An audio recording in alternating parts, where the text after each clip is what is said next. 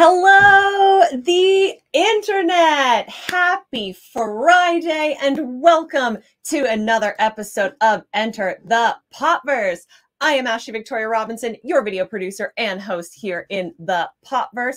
If you didn't know, the Popverse is, of course, a virtual realm created by Reed Pop. And Enter the Popverse is our weekly chat show where we wrap up all things pop culture news, talk to incredible people, and talk live to you, viewers, in the chat. I want to let you know that if you are interested in any of the stories, anything that we talk about today, and you want more details, of course, don't forget that we have a whole website dedicated to all of this fun, amazing stuff. And you can always read the full story with more details over at thepopverse.com. We also create a ton of exclusive videos and pictures and feature articles that you can get complete access to by getting yourself a Popverse membership. The Popverse membership gets you all kinds of fun, exciting bonus benefits, and it also gets you access to fun things like our live events. So if you can't be somewhere incredible like New York Comic Con in person, you can be there virtually from anywhere in the world, maybe even from space. I honestly don't know what the internet is like on the ISS, but if you're watching from the ISS, um, please let me know because that would be really cool. Um, honestly, and our reach would be way better than I thought it was. Speaking of live events, we know the big one is coming up, but if you are a West Coast Magic the Gathering fan, this coming week, so next week in Las Vegas, Nevada, I am going to be at Magic Con Las Vegas. Please come and play Lord of the Rings Magic the Gathering with me. Please come have an amazing, fun, happy time from September 22nd to the 24th. There's some championship games. I can't wait to come and geek out with all of you. And then, of course, right after that, we're going to be at New York Comic Con, October 12th to 15th in the greatest city in the world. I am hosting the Ewan McGregor Spotlight panel and a bunch of other stuff that we're announcing and rolling out between now and then. If you can't be at the Ewan McGregor panel live, you can see it with a Popverse membership. So get your ticket or get your virtual ticket and make sure that you never miss out on a ding dang thing that we are getting up to. Top of the morning to you, Jake Hefner. I hope you also have a wonderful weekend. Tom Trainer, how's it going? It's going so good. How how's it going with you? yeah, West Coast Magic the Gathering fans. Dun, dun, dun. Shout out to all the Geek History Lesson listeners who do nothing but make Geek History Lesson references in the chat each week here for Enter the Popverse. All right, my friends. I can't believe we are now old enough at a mere 31 weeks old, not even full term yet, to be able to invite back one of the incredible guests who we've had before, a dear friend of mine, an incredible comic book writer, and I feel like the king of all things genre. He's got his fingers in every single thing that we are excited about, every single emerging crossover universes that we didn't know we wanted from our childhoods, but we very much did. Please put your hands together in the traditional Enter the Pop Popverse Theater Kid round of applause to welcome New York Times bestselling author of Nailbiter, Birthright, Dark Ride, Flash, Batman and Robin, Dark Crisis, Green Arrow, Superman, and now entering the emerging Energon universe. Wow, can you imagine? Okay, please join me in welcoming my friend, the incredible Joshua Williamson. Hi, Joshua. Hello. Welcome back. Yeah, it's awesome. I love being on here. It's good to talk to you about comic books. I know. And other stuff. It's the best. Yeah, but mostly comics, let's be honest. Yeah. I also shout out uh, Graeme McMillan, who's hiding in the wings, and I could see was applauding as you made your announcement. So thanks, Graeme. Thanks for showing out for all of us. And Popverse, of course, getting us with the drum roll. Josh, I've I've like gotta ask top of yeah. the dome. First question. How did you enter into the fray of G.I. Joe meets Transformers? Oh, um because I started talking to Skybound about this like a long, long time ago. We were just talking about GI Joe, and it was always one of those things where I was like, I had an idea for it. Like, oh, I was ever going to relaunch it or do my take on it. I had ideas, so I would talk to him about it. And then one day, Sean Mackiewicz was like, "Well, actually," and then he started filling me in a little bit, and I was like, "Are you saying you want me to do it?" And so we just had this whole conversation about it with him, with Robert. I started pitching ideas. They were telling me stuff, and it actually really aligned. A lot of the things that I had been obsessed with with G.I. Joe were things they were obsessed with too. You know, and we found a lot of common hmm. ground on things we wanted to do. And sort of if we were going to be able to relaunch it, you know, relaunch this property we loved, how we would do it differently that might surprise people, but still do something, you know, that honors what had come before. I love that story because I know your story as well about how you came onto the Flash, and it was very much like pitch the idea, and then wasn't that wonderful? And then someone's like, "Well, you're writing the Flash now," so I oh, feel yeah. like you yeah, just yeah. speaking things into the universe and manifesting them into the world of comics. You know, I wish that were true. I, I, you're, you're kind of right though. I, I've, I've definitely been really lucky. Um, you know, and it's funny because I had sworn off like licensed books. You know, I was uh-huh. like, I had, I did um, Haunted Mansion, and that was also one that I had tried for a really long time. And I feel like I guess you said I manifested, where it was like that was a bucket list project. I and love your Haunted Mansion book, by the way. Oh, it's thanks. So yeah.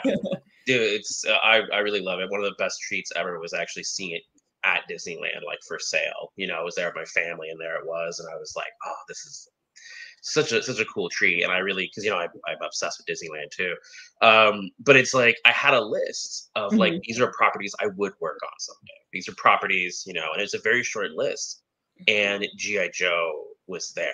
You know, it was like one of those properties. And so getting to talk with, you know, Skybound and talk about what we were thinking about doing with it and how it could connect to the whole Energon universe and connect with Void Rivals and connect with uh with Transformers at uh yeah, it's been really fun. It's been uh yeah, I feel really lucky that I get this thing that I get another thing that I love that I mm-hmm. get to play with, you know. Okay, I also have to ask a question just for me and me alone. Um will there be are you hoping that there will be action figures let's phrase it that way based on your versions of these characters because the gi joe action figures are legendary um yes that would be a huge goal for me i feel like that's an understatement listen like you know there's a lot of dc stuff behind me the yeah. rest the other stuff and like i have this duke toy on my desk right now yes you know? I'm, like I'm obsessed with the classified line that they've been doing. Uh-huh. Um, they're well aware. Hasbro is well aware of this because um, I have I have all of them. So oh. uh, that is definitely something that has been on my mind, and that's the that's the most I can say about that. But yes, that is definitely like it's on my mind. It's something that Tom and I have talked about. There's definitely a lot of in, of uh, thoughts about that. Yeah. Um, but yeah, I, I really love those toys, and like I had, I got another one in the mail yesterday. Actually, I got this one pretty cool. It's the the Televiper. Whoa! This thing is dope. I'm very excited about this one. I just got it yesterday. But uh, yeah, that would be that would be super super cool because we definitely have like different takes on a couple of the characters that uh-huh. I think really cool uh, toys. It'll, it'll, really surprise people in some places where we take things and you know we tweak it a little bit here and there based on what we're doing. It'll be uh, it'll be really interesting to see what people people think when we when we get rolling into some of it. Yeah. Yeah. What's your Twitter again? Uh, not not to telling myself too much, but like I am holding out for like a, a Sergeant Slaughter appearance. We have some great comments that I'd love to bring up. Tom Trainer says, "What's still on that manifest list to work on in the future?" Oh, I can't. I, I can't tell you. I like I can't because some of it, like I, this is the funny thing. If it's something I'm interested in, like I, I have this rule, right, where it's like I have to be obsessed with something. You know, yeah. Like, that's the thing. That's the thing with this. Like I, I, I was obsessed with it before I got the job, right? Yeah. So it's like I have to be obsessed with it. I don't know if I want to. I don't know if I want to tell you because I feel like it might ruin things that I'm actually trying to do right now. Uh, but um, you'll. I, I will probably post something like that in the future. I don't want to ruin any of it right now because like it might uh might give it away. Yeah. Okay. Okay. Uh, Stay tuned. Stay tuned. we've talked a lot of uh, uh, GI Joe, but on the Transformer side of things, Jake Kapner wants to know: Are you Team Autobots or Team Decepticons? I'm Team Starscream. he's the only he's the only transformer on my desk right now. Is uh is this super tiny Starscream by the way? But this thing is awesome, and my son comes in here and he loves this one. He uh he loves Starscream too. Um, but uh, you know, it's funny. That's that's a funny question because when I was a kid, um, I always gravitated toward the villains. Yeah, you know? it's the same thing with GI Joe and Cobra. You know, mm-hmm. it's like I always thought Cobra characters were super, super cool. Mm-hmm. Um, and it is the same thing with uh, the Decepticons. Like, I just really, I love the dynamic of the characters, and then I just thought the designs were super cool. And so when I was a kid, I had more Decepticons than I had of uh, of uh, Autobots. So yeah, oh, Starscream is dope. Yeah, I love Starscream, and it's funny like the yeah the the the the voice and stuff with him and Cobra Commander is just uh, yeah, it's it's super cool. But uh, yeah, I love Starscream. He's always been one of my uh, like my favorite characters in that whole mythology. Has always been with Starscream. Um, okay, we have some pages to look at from yeah. your upcoming Duke number one. So I just want to show them and kind of get your commentary on them if you're open to that. Yeah. So yeah. So the way that I saw the first, there's like a, there's a, yeah, this covers dope. It's uh, Tom. Amazing. It has a little bit of uh, uh, Easter egg on it. I'm sure people could pick up on it pretty quickly. They kind of start hey. to, some of those connections and uh, some of those surprises that are uh, coming. Uh, but yeah, we wanted to just start off straight with just here's the cover of Duke and just show the iconic Duke that we all know and love, like right on the right on the front cover. All right, here is the next page I have for you. Dun dun dun. Well, that's actually page four. Um, and so oh, before this page, before this page, um, the first three pages, the way I saw it was like one of my favorite things about GI Joe, even when I was a kid, you know, was just like always the opening sequence, right? It was uh-huh. always the music. It was always just that opening sequence of just this, you know, them versus Cobra, but this action sequence. Uh-huh. And so what I wanted to do was at the beginning of the issue, I really wanted to showcase that idea of almost like this action sequence of the uh, of the book, right? And we get to see who Duke is and a little bit of his history but then we have kind of like right here, yeah. So right here, got in the right order. Yeah, you got in the right order. All right, so this is this is we're live. All right, so this is the uh so this is kind of what it was, right? It was like I yeah. wanted to show this action sequence with him, right, and kind of give you a little bit of a history lesson of who this character is, in case you have no idea. You know, mm-hmm. I mean, that's one mm-hmm. thing with this. Like, we definitely want to appeal to uh, the fans, the people who love it, and like that's what I looked at too. Is like I'm a fan, so what I what I love this right, and I, I wanted to appeal to that, but I also recognize like maybe not everyone knows who Duke is, and so mm-hmm. I wanted to mm-hmm. give you a little bit about who Duke is. And part of that was, well, again, with this right here, it was just about like, I wanted you to hear the music, like right out the gate, you know? I mm-hmm. wanted you to get that same feeling like when I was a kid, we would pop in, you know, a VHS tape, know, fast forward through that stuff, you yeah. know, get past all the stuff, and then you hear that music kick off, you know, and it was like that's really what I wanted the vibe with these first three pages to be is that kind of feeling, right? Like I want you to be like, hell yeah, GI Joe, right out the gate, and hell yeah, Duke, and, and that's where this the the next two page spread comes in, which is also with uh, Tom hey. This was one that I was just like when this came when when this came in Mm-hmm. I wanted to post it. Um, it was one of those things where I was like, when can we show this off? Like yeah. this it right here, you know. And I really wanted to show this art to people. Uh, I'm glad that we're able, we're now able to get that out there for today.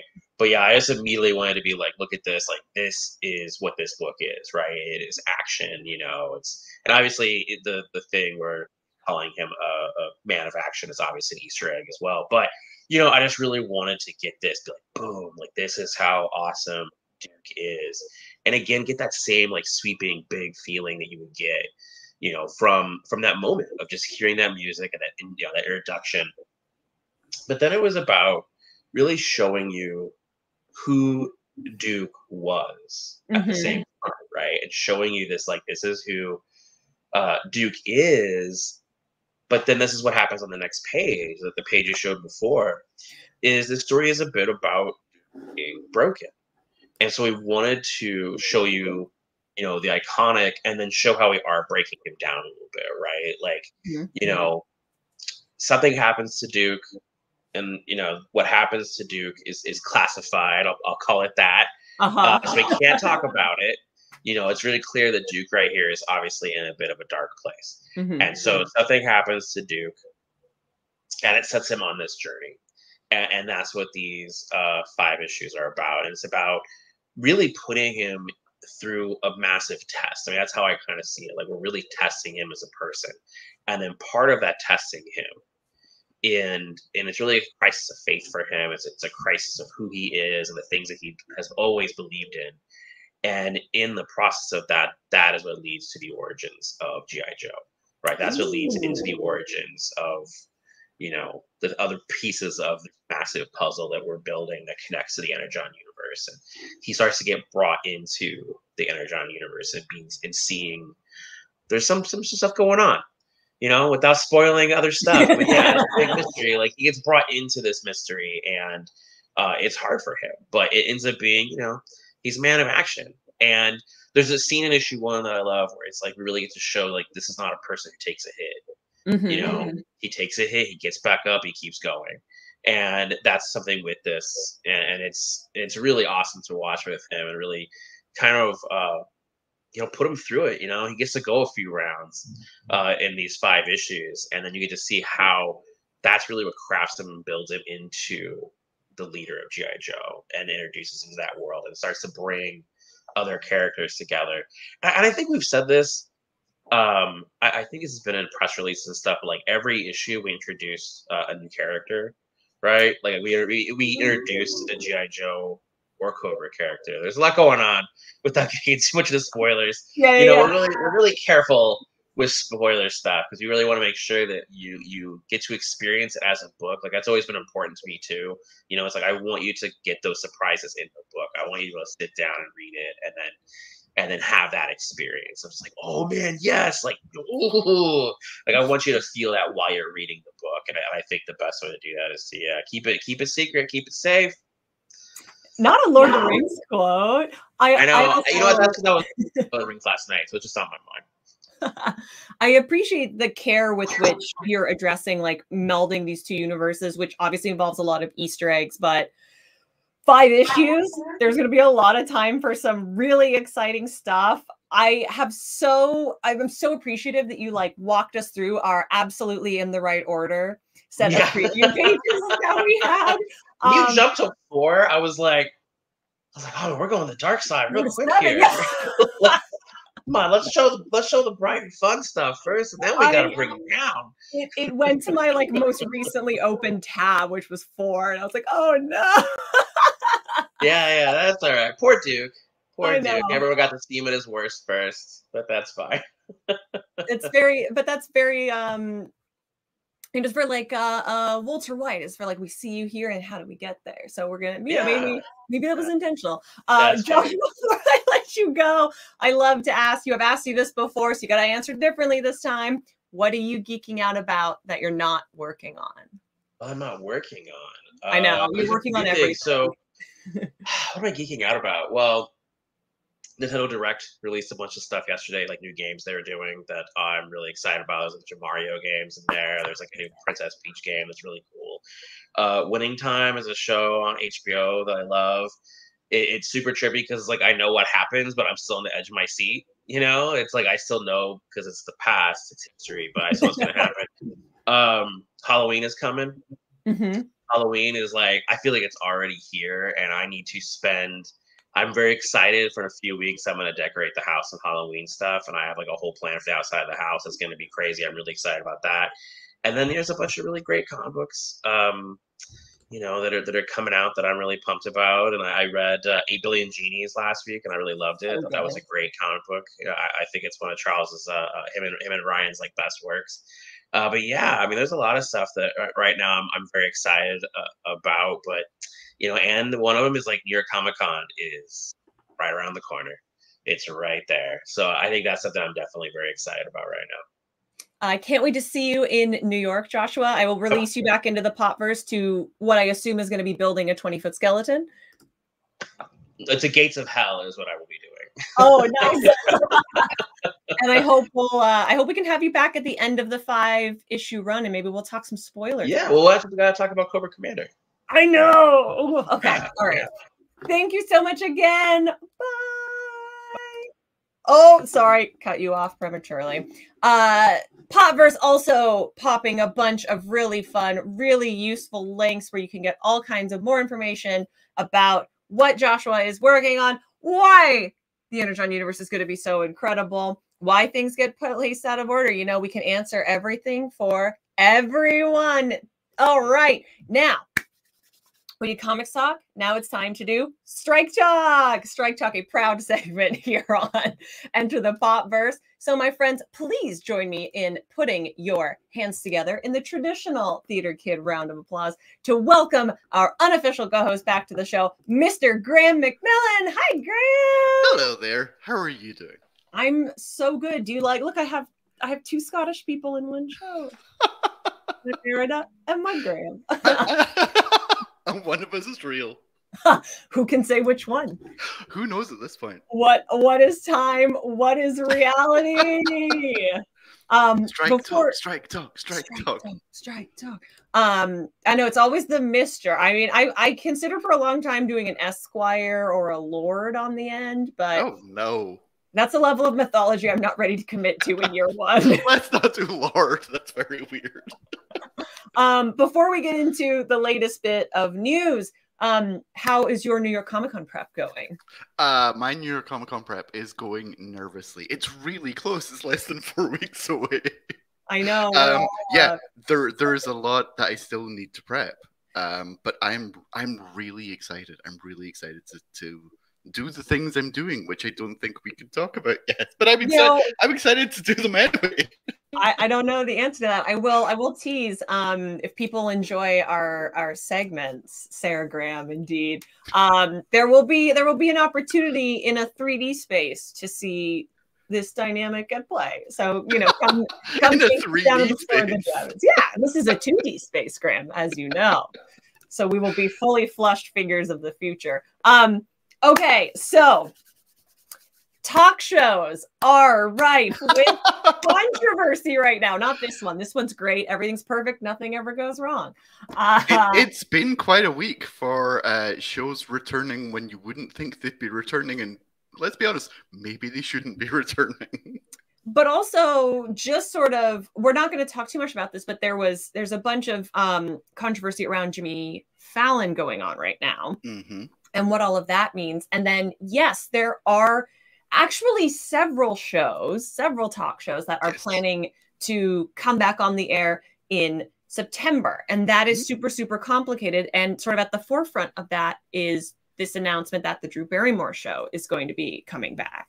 And has already shot. They've already shot some some uh, stuff for the Drew Barrymore show already, even though it's not back until the 18th. Yeah, which I, I have to say, first and foremost, I find perplexing because you know, typically when you think about the types of celebrity guests who would appear on a talk show, it's TV stars, it's movie stars, it's Broadway. It's a lot of the types of people who are, are currently yeah, who, who, are currently not not showing up for things. Yeah, and in, in, fact, so so the Drew Barrymore show is is back on the 18th. Yeah, uh, that's the that's the date for the actual announcement. They've shot some of it already. A lot of people have already said that they're not going to be on. Yeah, like a uh, even people who could have you know promoted their work without uh, strike breaking have because the show came back and because honestly the show came back in the way that it did like mm-hmm. drew barrymore announced the return in an instagram post where she she talked about how she owns the decision but she also said i don't know if you saw this i want to be there to provide what writers do so well which is a way to bring us together or help us make sense of the human experience she says this on a show where like she's strike breaking. This is this is a WGA show. Yeah, so I do want to. There's also part of her statement where she she sort of alludes to the fact that like talk shows and variety shows don't operate under the same rules as either reality television or scripted television, scripted narrative. Yes. Both of those things are true. Mm-hmm. Um, that is absolutely true. You are under different contracts with different restrictions yes. and different rules. However, however, um, it is still a SAG contract and it is still a WGA contract. Um, There's three WGA writers on the Drew Barrymore show. Yeah, there there is indeed. Um, and uh, Christina, I'm so sorry I can't remember your last name. The head writer, she actually released a really great statement about what this is going to mean.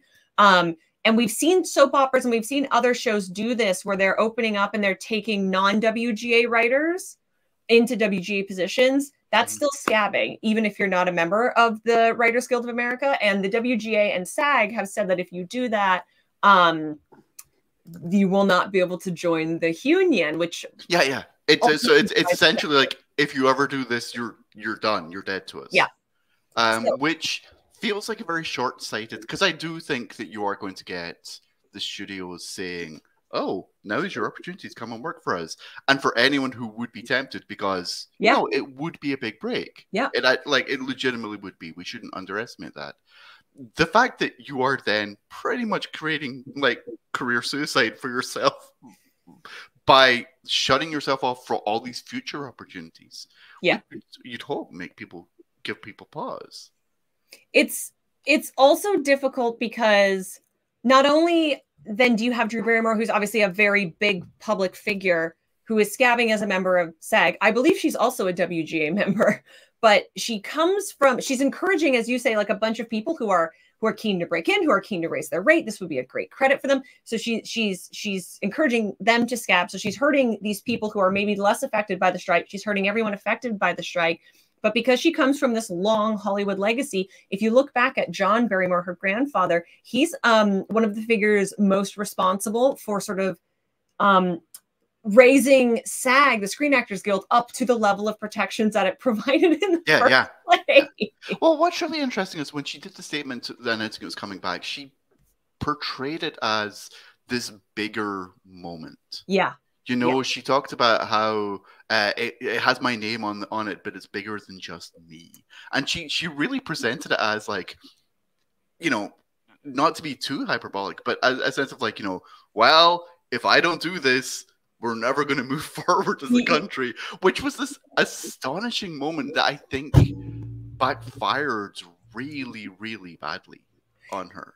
I, I think that it, it's it's really it if she thought it, this was going to be the moment to come together and and you know sing kumbaya the very opposite no, no, no. Graeme, sing Imagine, please. Let's go with a more contemporary reference.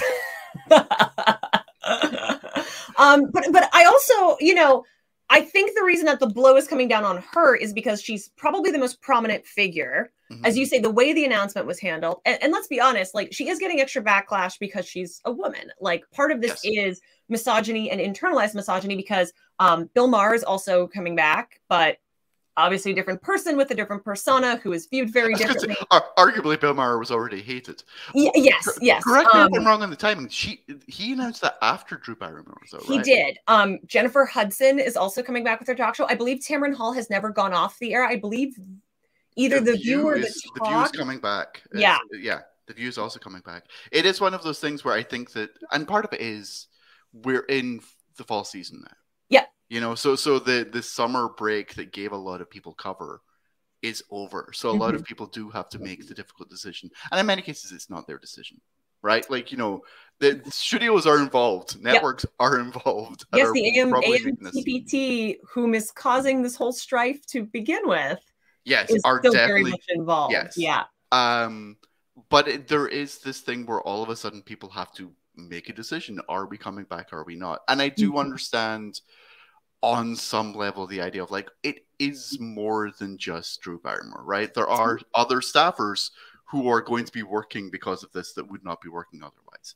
I get that. Yeah. However, I like I think you're on the same page as me, where it, it also feels like a very public way of saying I'm not, you know, I stand with you, but only to a limited degree. Right. Or or these rules just don't apply to to me person like like that's cute for you, but I be- because I am representing the brand of this show, it, it's somehow held to a different standard. I would also like to acknowledge that there is definitely a way that any talk show could come back without strike breaking. Um, one of the ways um, that Jim, I want to make sure I'm getting my Jimmy's right. Jimmy Kimmel Mhm. is paying his staff out of his own pocket. And I believe, um, I'm not sure, but there might be like a different type of contract involved. And so that circumvents a lot of the needs of the guild, or he's making sure that they're still paid. And that's a way that he's sort of dealing with that. Um, there is a lot of stuff that is filming actively right now because they have reached out to SAG and the WGA and they've agreed to interim agreements. So, like, Mhm. there is a way, especially like this isn't what we're doing here today. This isn't a YouTube show. This isn't a podcast that's produced by all the people that you see on screen. Like, this is a humongous corporate entity with teams and teams of people at its back. There is a way that you, in, I'm sure it would take some time. Red tape, corporations, guild, yeah. it's all very true. But I think there is a, a fairly straightforward and uncomplicated way that you could simply bring a show back by following guild prescribed rules and and Yeah. signing guild prescribed contracts. But obviously at a certain point in the breakdown and i'm not saying that drew barrymore is the one personally responsible for this it's probably a bunch of other people above her as well.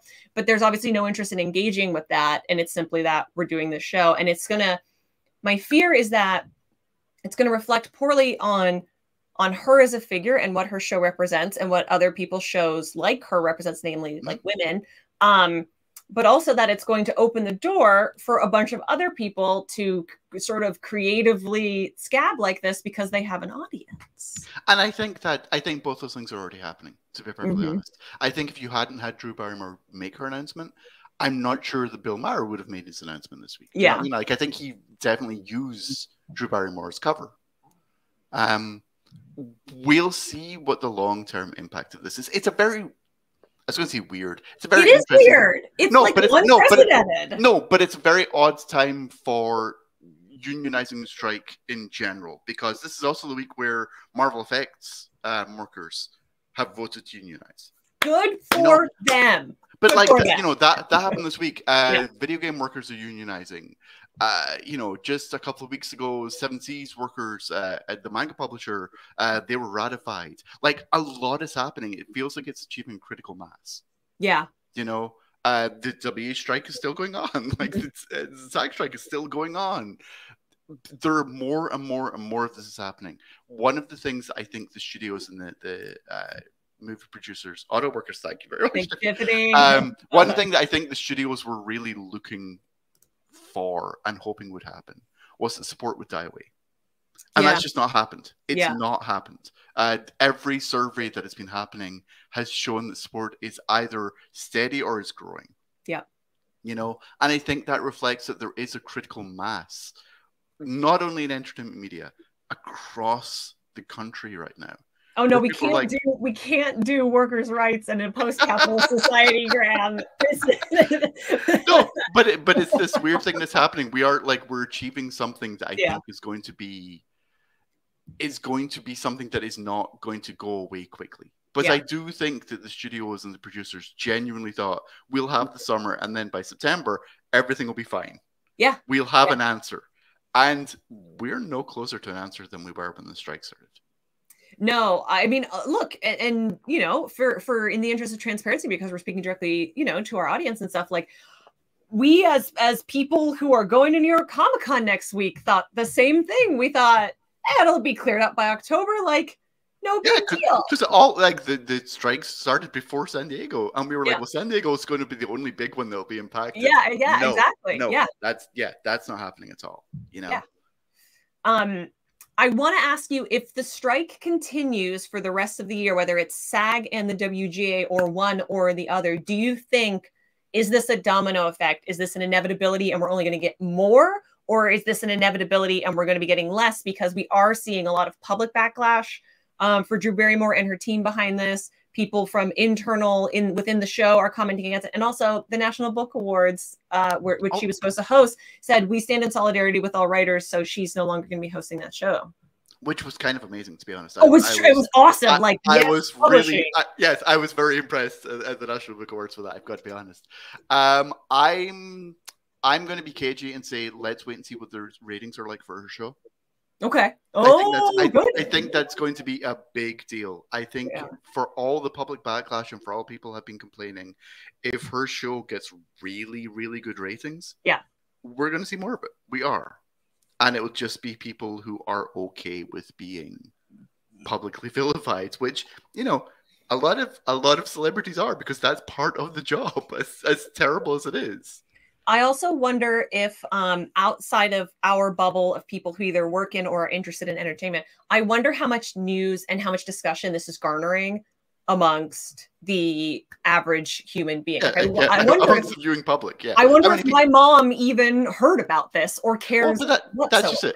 How many Yeah. people who watch the Drew Barrymore show are actually going to A, know or B, care? Yeah. Is a, is a real question. Yeah. And so, again, this show could come back with incredibly impressive ratings because it's one of the few things that is new. Yeah. And then we'll see if there's going to be more of it. Um, I also want to shout out this link that Popverse shared about New York Comic Con and some of our upcoming shows because um, we work really hard uh, reaching out to the guilds and making sure that everything that we do is respectful and above board. And I do have to say, because we know Graeme and I know a skosh more about New York Comic Con than you might, my viewing friends. It's going to be great this year. have, have no fears, uh, because uh, yeah, you can you can reach out to us. You can reach out to a guild and make an agreement. So Graeme, is there anything else that we need to unpack, unfold? I always appreciate having you as a sounding board for these discussions. And I always appreciate having people, one, stick around to watch and engage with them and ask questions because I do think it's something that is weird and muddied and complicated. It is. It's a very complicated subject. And I think that one of the things, I've said this to you off camera, I think one of the most valuable things you can do in situations like this is not have a fixed position or not have pretend you know the answers when you don't. Yeah. so you can talk things through because then you'll discover things oh i never thought about that and and come away with with more knowledge. So yeah i i very much appreciate you inviting me on to do this. Thanks for uh literally always saying yes. Uh all right graeme then i am going to ask you because i haven't asked you in a second um what are you geeking out about right now that you're not working on uh, I got to read related to your previous guest. I got to read Transformers issue one recently, yeah. the the Daniel Warren Johnson book. It's really good. It's really, really, really good. I I am old enough. You and I had this conversation before before the show. I'm old enough to remember Transformers when Transformers first came out. Uh-huh. Uh, and the new comic is the closest thing I've ever had to being 10 years old and seeing like the cartoon and reading the original Marvel comics. Uh, not because it's a retread, not because it's like nostalgia, but because there's something about what Daniel Warren Johnson does in it that you're like, yeah, that's it. That's the DNA. That you're right.